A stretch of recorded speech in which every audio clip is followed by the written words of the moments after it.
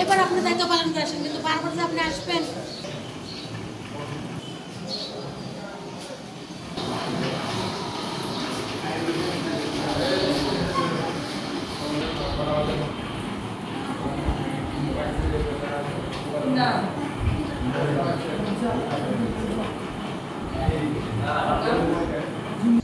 তিনটে আমাকে আমার কাগজ দিয়ে জমা দিল, দিয়ে আমাকে আরেক জায়গা থেকে জায়গায় দিয়ে দিল। দেওয়ার পর তারপরে হলো আবার একটা কাগজ দিল। দিয়ে আবার তিনটে কাগজ দিল তিনটে কাগজ ভাঁজ দিয়ে দিল। তিনটে কাগজ ভাঁজ দিলে যে আমার যেটা মন, আর যেটা মন আমার চাইলো সেটা আমি দিয়ে দিল যে কাগজটা ভাঁজ দিয়ে এনে আর ঢুকে ফেলে দিল কত এটা ম্যাডাম? দিতে ভালো লাগল পরিবেশও ভালো শৃঙ্খলাটাও ভালো এখন অত ভিড় অত নাই। নাহলে গরমের মধ্যে ভোট দিতে খুব ঝামেলা হতো।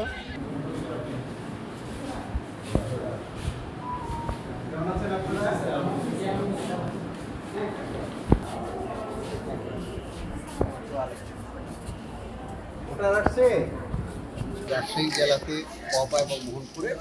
এই মুহূর্তে পবাতে আমাদের আছে হলো প্রায় চুরাশিটা আর মোহনপুরে পঁয়তাল্লিশটা তার মধ্যে দুইটা চড়ে সমস্ত ব্যালট কিন্তু সকালে দুইটা চড় ছাড়া, বাকি সবগুলো ব্যালট কিন্তু সকালে এবং নিরাপত্তার চাদরে ঢেকে দেওয়া হয়েছে।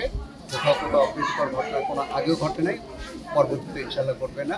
কারণ আপনারা জানেন যে পঞ্চম উপজেলা পরিষদ নির্বাচনে আমরা প্রতিটা কেন্দ্রে ইয়ে দিতে পেরেছিলাম বারো তেরো জনের বেশি কিন্তু এই বছর দিচ্ছি আমি সতেরো থেকে উনিশ জন।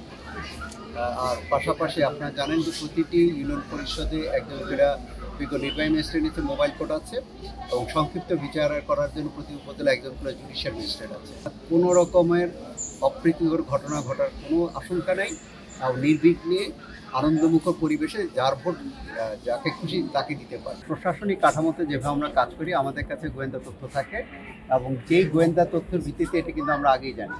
কোথায় কি ঘটতে পারে, আশঙ্কা থাকবে আর কি, যাতে, কারণ এটা তো ভবিষ্যৎ আমরা বলি যে এটা ঘটতে পারে।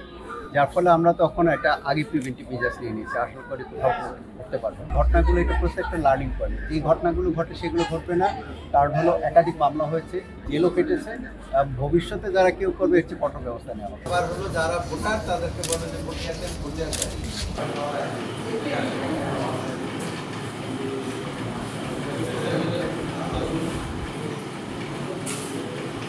সকাল থেকে যে পরিবেশটা দেখছি, আসলে মাননীয় প্রধানমন্ত্রী যে কথাটি বলেছেন, নির্বাচন কমিশন যে কথাটি বলেছেন, অবাধ, সুষ্ঠু, নিরপেক্ষ ভোট হবে এবং সেই পরিবেশে আমার নজরে মনে হয়েছে যে হ্যাঁ সে অবাধ সুষ্ঠু, নিরপেক্ষ পরিবেশ আমরা আমি দেখতে পেয়েছি। আমার খুব ভালো লেগেছে এখানে সকলেই তৎপর রয়েছেন। না।